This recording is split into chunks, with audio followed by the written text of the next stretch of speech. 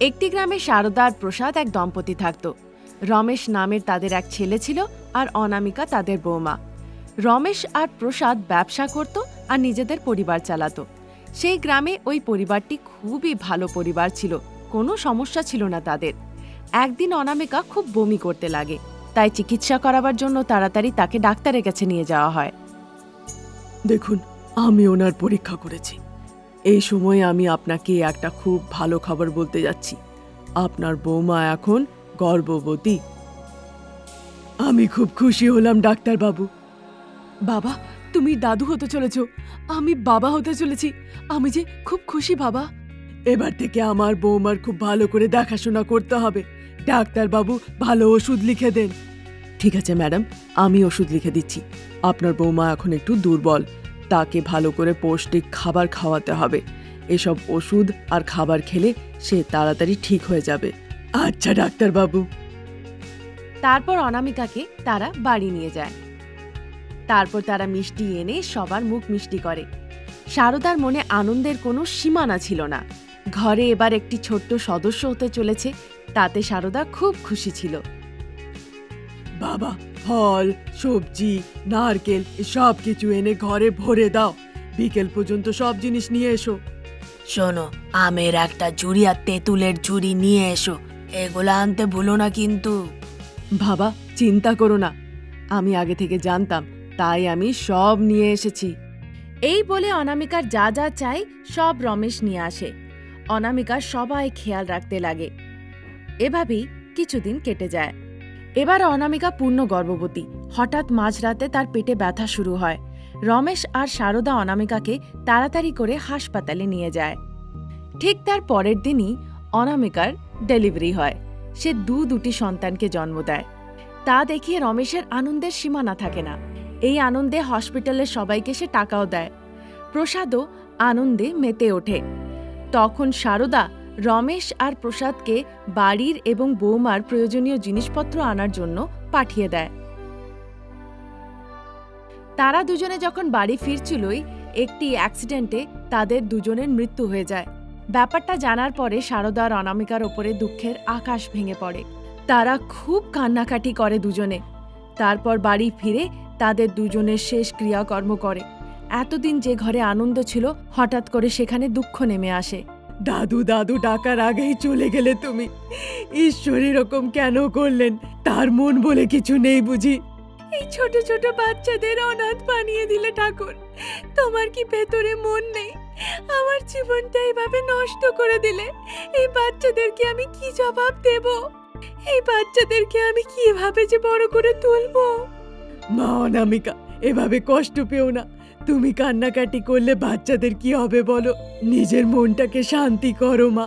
তারা এভাবে ছেড়ে চলে গেলেও এই বাচ্চাদের জন্য তারা এখানেই ঘোরাফেরা করবে। তারা এখানেই থাকবে গো। এভাবে শাশুড়ি বৌমা নিজেদের দুজনকে বোঝাবার চেষ্টা করে। কিছু বছর কেটে যায়, এখন বাচ্চারা বড় হয়ে গেছে। বাচ্চাদের নাম রমা আর বিক্রম রাখে অনামিকা। বাচ্চাদেরকে দেখে এভাবে শারদা আনন্দিত হতো। কিছু বছর পরে সারদার বিপি হয়ে যায়। বিপি ঠিক করার জন্য সারদা ওষুধ নিত।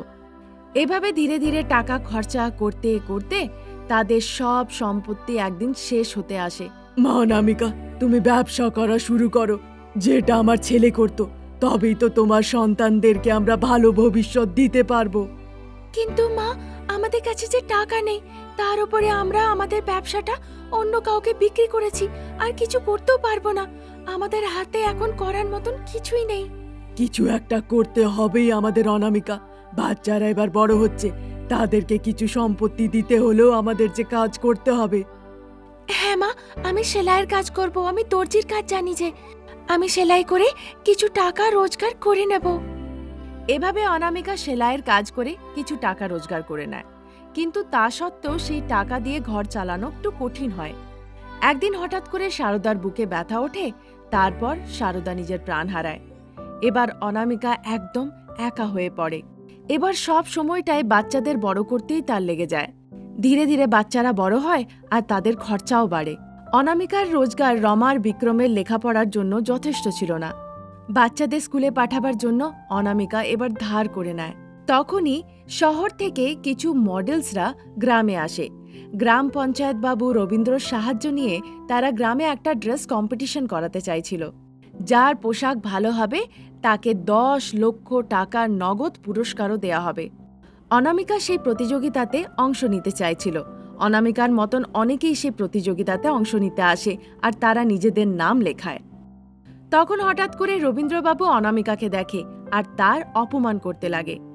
দেখো অনামিকা, এসব কাজ যুবতীদের। কিন্তু তুমি দুটো বাচ্চার মা। এসব তোমাকে স্যুট করে না। এই বয়সে তুমি প্রতিযোগিতাতে অংশ নেবে। না না আমি একটা ছোট্ট চেষ্টা করতে চাই। দেখি না।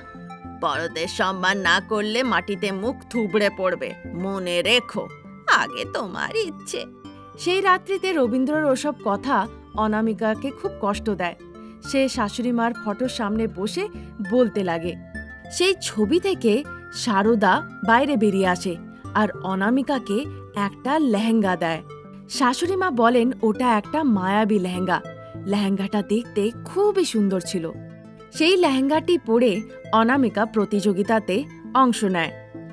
অনামিকার লেহেঙ্গার থেকে ভালো আর কারোর পোশাক ছিল না।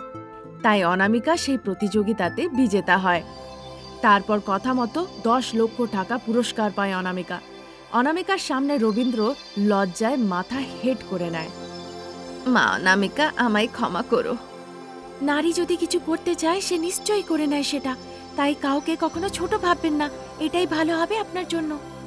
এভাবে অনামিকা সেই দশ লক্ষ টাকা জেতার পরে সেই টাকা দিয়ে স্বামী এবং শ্বশুরমশাইয়ের ব্যবসাকে আবার থেকে শুরু করে।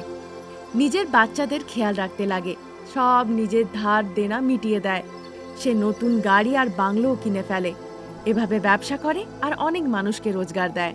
সে নিজের বাচ্চাদের সাথে তখন থেকে আনন্দে জীবনযাপন করতে লাগে।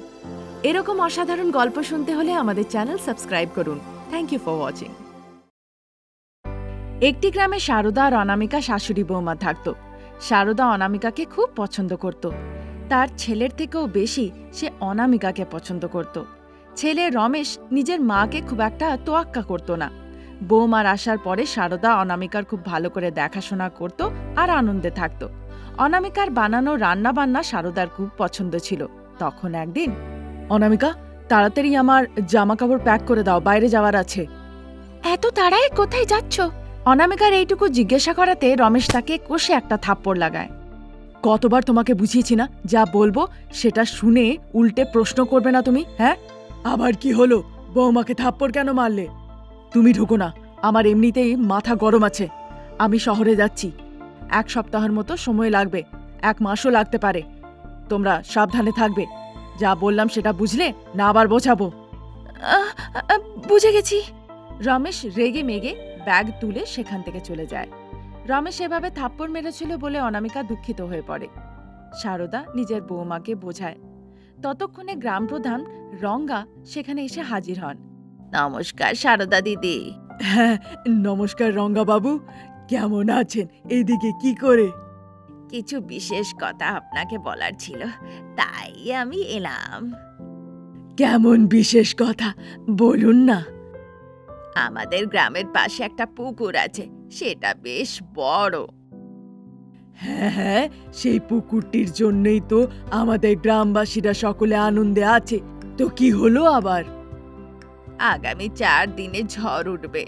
আর ওদিকে পুকুরের জল ভরা আছে। ঝড়ের চোটে যদি পুকুরের বাঁধ বেঁধে যায় জল গ্রামে ঢুকে যাবে আর পুরো গ্রাম শ্মশান হয়ে উঠবে। এইটাই নিয়ে আমার খুব চিন্তা যে। আহা আপনি তো খুব দুঃখের খবর শোনালেন। শুনেই আমার ভয় লাগছে। এখন কি হবে? আপনাদের বাড়িটা অনেক দূরে আর উঁচুতে।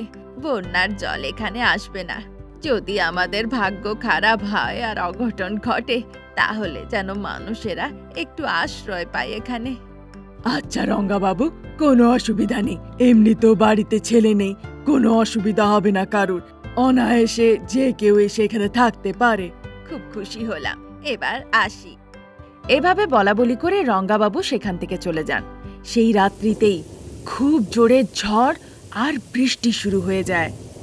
ক্রমাগত তিন দিন ধরে খুব বৃষ্টি হয়। তারপর যেমন রঙ্গাবাবু ভেবেছিলেন, বাঁধের জল ভেঙে গিয়ে পুরো জল গ্রামের ভেতরে ঢুকে যায়। গ্রামবাসীরা আশ্রয়ের জন্য সারদার বাড়ির দিকে ছোটে। গ্রামবাসীদের সাথে সাথে রঙ্গাবাবুও আসেন।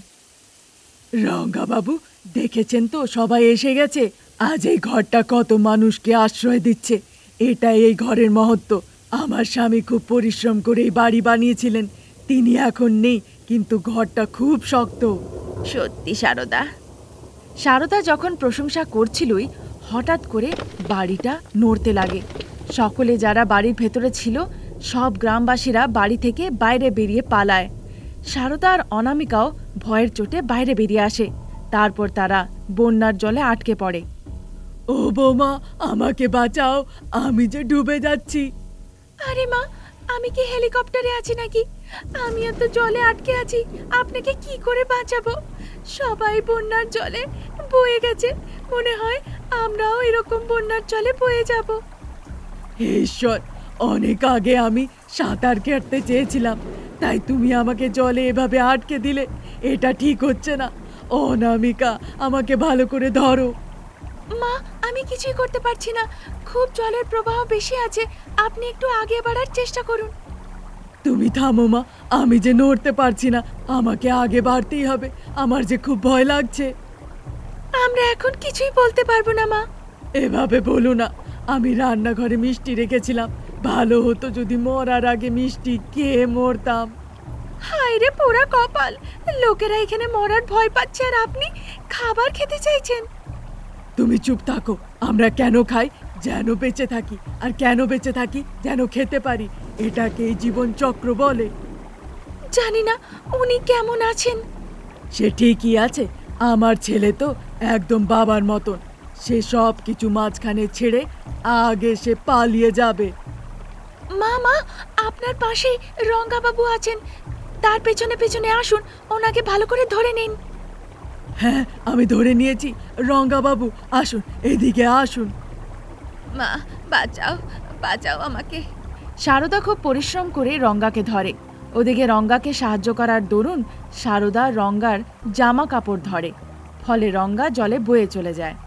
আরে রঙ্গা বাবুকে সাহায্য করতে গেলাম। সে তো বিনা জামা কাপড়েই বয়ে গেল। কি করলেন মা? আপনি কাউকে সাহারা দিলেন? আর তাকে ভালো করে সুরক্ষিত করতে পারলেন না। এবার কি হবে? কিছু করো মা আমাকে নিজের প্রাণ বাঁচাতে হবে। আচ্ছা মা তার জামা কাপড় আমাকে দিয়ে দিন। যেই না সারদা কাপড়টা অনামিকার দিকে ছড়ে অনামিকা সেই কাপড়টা গাছে ফেলে সেটাকে কষে ধরে নেয়। সেই কাপড়ের সাহায্যে অনামিকা বাড়ির প্রবাহ থেকে দূরে চলে যায়। যখন সে নিজে সুরক্ষিত হয় তারপর সারদাকেও সুরক্ষিত করে। তারপর শাশুড়ি বৌমা দুজনে মিলে গিয়ে চেষ্টা করে যেন গ্রামের বাকি সকলেরাও সুরক্ষিত হতে পারে। সেই বন্যার জলে রমেশও বয়ে আসে। অনামিকা রমেশেরও প্রাণ বাঁচায়। একদিন পরে বৃষ্টির জল থেমে যায়। বন্যার প্রবাহও কমে যায়। গ্রামবাসীরা এক এক করে নিজের বাড়ি ফিরে যায়। সারদা অনামিকার এই সাহসিকতার জন্য জেলা কালেক্টর তাদের পুরস্কৃত করে। বৌমাকে দেখে শাশুড়ি আর শাশুড়িকে দেখে বৌমা খুব গর্বিত বোধ করে। গ্রামবাসীরা আবার থেকে সেই গ্রামে আনন্দে থাকতে লাগে। পুকুরের বাঁধ সারিয়ে তারা সুখে জীবনযাপন করতে লাগে।